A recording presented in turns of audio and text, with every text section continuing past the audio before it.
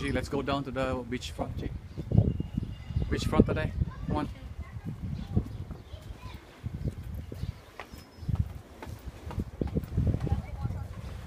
Oh, nice.